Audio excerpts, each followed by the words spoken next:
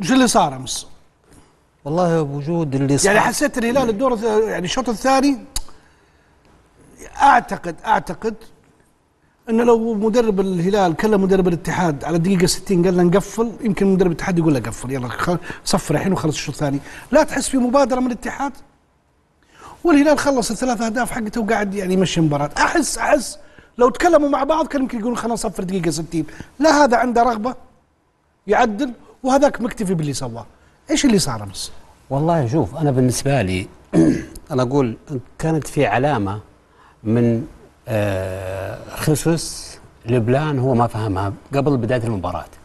لما استغنى عن كولابالي النجم الكبير وجاب لودي حطه في الجهة اليسار. وزي خصوص يبي يعلمنا ويعلم بلان إني أنا عارف قوة كونها فيه وعارف أنت كيف بتهاجم. المدرب دائما يفكر في فريقه وفي الفريق الآخر. مشكله بلان قاعد يفكر في فريقه فقط ولا فكر في الفريق المقابل. المقابل ابدا. شفت الكلام اللي قالوه والمباراة اللي شفتها أنت؟ لما ترجع للأرقام فعلا تمسك راسك فيها. يعني بس مجرد ما تعرف إن الاتحاد خلينا نقول يسمونها اللي هو آه، الأماكن الاسترداد. الاتحاد أضعف فريق في الجولة هذه استرداد في وسط الملعب 25% اضعف فريق من الفرق كلها 18 لاعب. معناها استرداد كورة. استرداد الكره 25% في وسط الملعب.